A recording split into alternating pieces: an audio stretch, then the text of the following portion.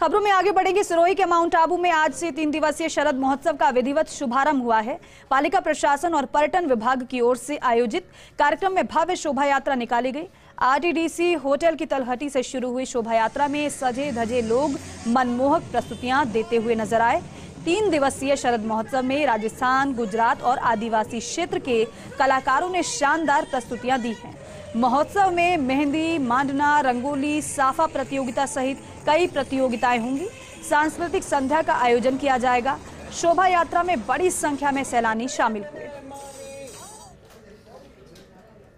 तीन दिवसीय शरद महोत्सव का आज विधिवत आगाज़ हो गया है, जहाँ उपखंड अधिकारी सिद्धार्थ ने विधिवत शोभा यात्रा को हरी झंडी दिखा करके इस शोभा यात्रा को शुरुआत की देखिए, तस्वीरें बहुत खूबसूरत है।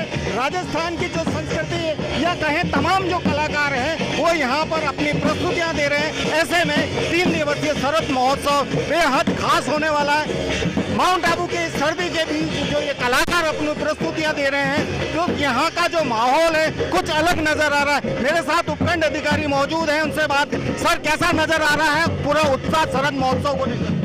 जैसे आपको देख दिखाई दे रहा है कि ये शोभा यात्रा से शुरुआत हुई है शरद महोत्सव। काफ़ी एंथुसियाजम उत्साह दिखा रहे हैं लोगों में।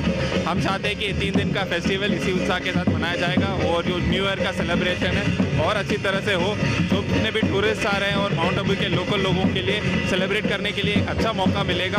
और साथ ही साथ जो लोकल आर्टिस्ट है कलाकार हैं उनको भी अपना प्रदर्शन दिखाने के लिए ये शरद महोत्सव एक अच्छा अवसर मिलेगा जिसमें उनका वो टैलेंट दिखा सकते हैं। मेरे साथ पालिका आयुक्त राम किशोर है। सर थर्टी फ़र्स्ट नाइट आप आयोजित कर रहे हैं क्या खास रहेगा इस बार ताकि टूरिस्ट अपने आप को एक नई चीज़ महसूस कर? शरद महोत्सव की अपने पूरी तैयारियाँ कर ली है। श्रीमान उपखंड अधिकारी महोदय के निर्देश अनुसार सारी तैयारियाँ पूर्ण कर लिए ताकि एक ऐसा लुक माउंट आबू जो पर्यटक आ रहे हैं, यहाँ गुजरात कल्चर होता है, गुजरात कल्चर के भावनों को देखते हुए हमने एक ऐसा फ्लावर शो पैराग्लाइडिंग बच्चों के लिए अलग मनोरंजन और एक मैजिक शो जो बच्चे और उनका जो मनोभाव है, हमेशा एक बॉलीवुड नाइट होती है। और इसमें अब की बार थर्टी फ़र्स्ट को एक बॉलीवुड एक सितारों को अपना रहे हैं, जहाँ पे बहुत अच्छा वही होगा, जिससे पर्यटक एक आकर्षण का केंद्र रहेगा। देखिए, पर्यटकों के आकर्षण के लिए यहाँ पर शरद महोत्सव का आयोजन चल रहा है। तमाम जो कलाकार हैं मेरे ठीक यहाँ पर सहयोगी हरीश पंचाल मेरे साथ है वो दिखाएँगे। तो ये तो तमाम जो कलाकार हैं आप देखिए इनकी जो वेशभूषा है उसको देख करके अंदाज़ा लगाया जा सकता है कि, कि राजस्थान की जो संस्कृति है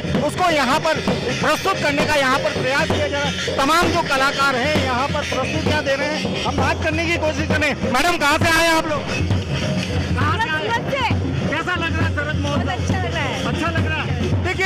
तमाम पर्यटक है कहीं ना कहीं कह सकते हैं कि, पर्यटकों की जो संख्या है उसको देख करके अंदाज़ा लगा सकता है। सभी के हाथ में यहाँ पर मोबाइल है और मोबाइल के माध्यम से कहीं ना कहीं जो सुंदर तस्वीरें हैं वो यहाँ पर क्लिक करते हैं। मैडम कहाँ से आए आप लोग?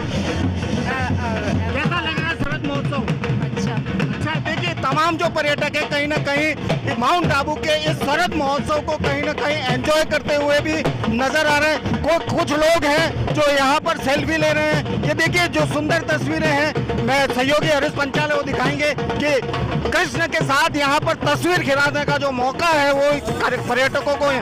मैडम कहाँ से आए आप लोग? से। कैसा लग रहा है ये शरद महोत्सव आपको?